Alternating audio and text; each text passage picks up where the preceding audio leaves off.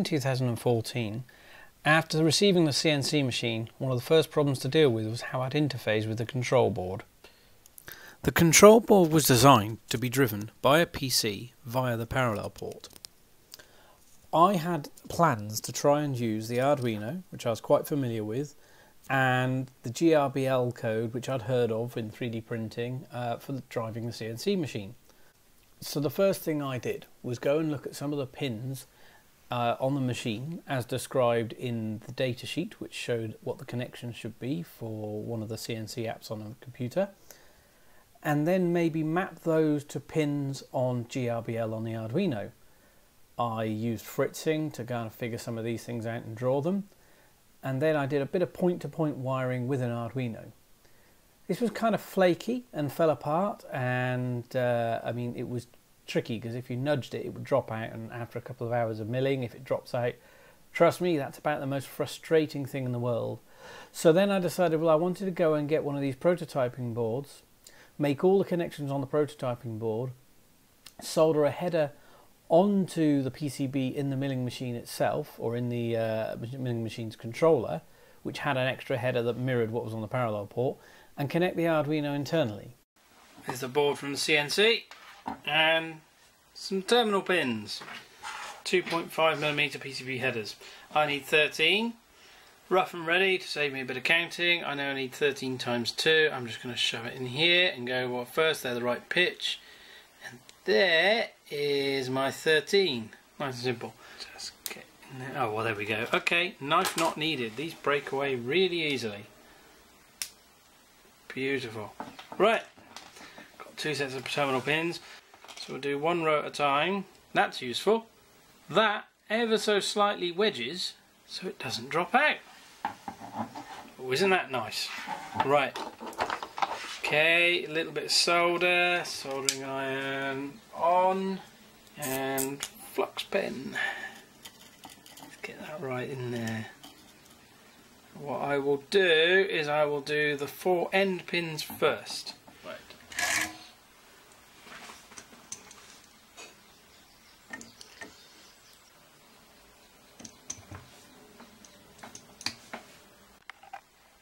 I've decided that while I'm here I'm going to populate these connectors as well. Some articles online show where people have used them. Okay, I've received some new deliveries from Farnell and last night I completed the board for the CNC machine. Um, it's taking the connections I've made with simple jumpers on uh, Arduino to the parallel port, which were a bit fragile and fell apart a lot. And what I've done is I've just made those connections more permanent on a Arduino Proto Shield. So there's a 26 way header in the middle and connections for each of those pins I wanted in there. Um, and yes, some pretty horrible solder jobs on the bottom. So that connection will go into a, a uh, Arduino like so. So these should clip straight in on top. I'll just pop those in got to make sure all the pins are lined up. There we go, that's in. I've slotted this together and the intention is that this will fit somewhere in this box here and then somehow I've got to route this USB port outwards um, I might need to see if I can find a USB port extender so then I can route it out the back here and maybe through that hole there um, just look, there's a hole there.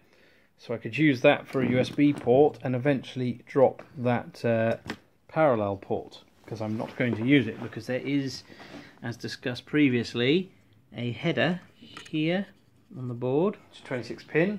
So I've also got myself 26 way cable. Now I know only 25 of those are going to be used because obviously it's a 25 pin DB25.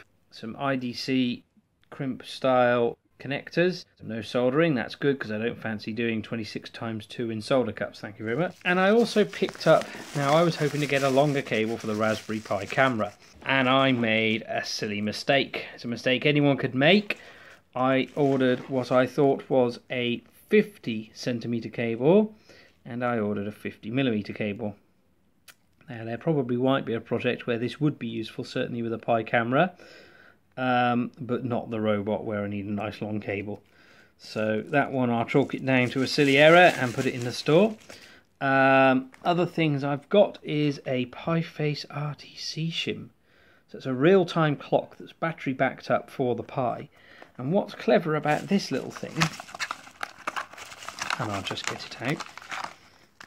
So if you can look at see that, um, is this shim means it doesn't actually take up the GPIO pins. It uses power, ground, and the I2C pins, um, and maybe one I address on the I2C bus, but everything else is free for use on other projects. So you can just pop this between your Pi and any other GPIO items, and hey presto, you now have a battery-backed real-time clock. So what this means is, if you turn off your Raspberry Pi and turn it on again, totally depower it, you'd have lost the clock. The clock time will be set to some point in time that's not today. Unless you've got it picking up from an NTP server somewhere on the internet, it'll be wrong. This means that obviously once you've stored the clock, this one will stay up to date and keep time for you. So you'll be able to turn it on again and get the same time. Now if you're doing kind of camera projects, um, or even having a robot where you want to have a record of what's happened, time is rather handy. So later on I'm going to be fitting these cables onto here, uh, sorry, these connectors onto this cable, and then connecting this up to the board and the CNC controller. And then I'll give the CNC controller a test. I'll test it with just some G code and no spindle uh, active, and see if I can put it through its paces. Um, I, I don't think I've made a wiring mistake. I did double check. Obviously, possibility of reverse connectors.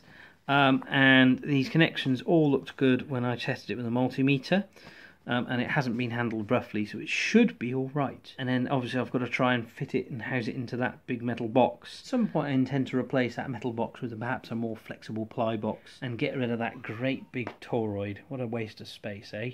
I went and mocked everything up inside this box with the Arduino to work out the cable lengths. Um, and I was able to basically just use a pen line and some cutters to cut it. Um, I didn't manage to record that. Now these IDC connectors, they are very handy. but there is a little bit of a trick to putting them on. How can I say? They take a lot of pressure and the pressure needs to come equally. Now you could try and do it by hand, but really for a 25 connector thing, it's not it's not easily doable. And if you try to use pliers, uh, you're going to have uneven force, which I'm kind of slightly aware it will then kind of go into one side and then the other, and then make a great big wonky connection. So what I've been doing is using this vise to clamp them in until they go. Now this side I've already also stuck on the strain relief. Probably won't need it, but better to have one I suppose, just so that it won't easily be tugged out this way, which is handy. So I'll show you the process I've been applying, or the process I applied. The other thing, of course, by the way, to be very clear about, with one forward, one back, you've still got to really match these connectors up. So what I'm going to do is make sure the notch ends up facing the same way, right way up or down. The notches will still end up facing the same place. Means you can do one on the opposite side and then turn it around for strain relief. And I suspect if I was to look at some of the uh, cables used for, say, the uh, the older older IDE PATA drives and floppy drives, I suspect they use exactly this technique for the uh, the connectors that weren't in line, um, where one's up and one's down. And I probably never noticed until I thought about the uh, strain relief on this one. So I'll go ahead and connect it. Um, unfortunately, I'm waiting on a new tripod because the old tripod broke. So some very wobbly videos at the moment. Uh, and I won't be able to video and clamp. But uh, hopefully the new tripod will arrive and I'll be able to make much more stable videos again.